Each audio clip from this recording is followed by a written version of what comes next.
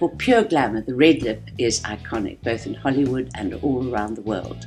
It suits everybody if used correctly.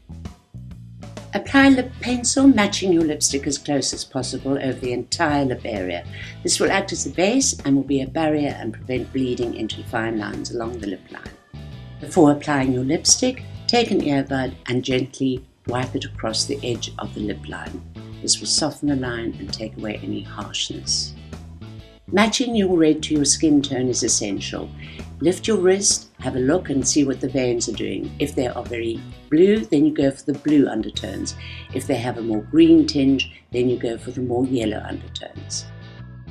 Use a lip brush to get perfect application. Apply a lip colour that is as close to your lip pencil as possible. Blot with a tissue and then reapply. Blot again, then lightly powder over the tissue. This will last all day and look glamorous and fabulous. Apply a final layer of red for depth of colour and you've got the most glorious, glamorous red lip. Remember, when wearing the red lip, keep your eyes soft and natural.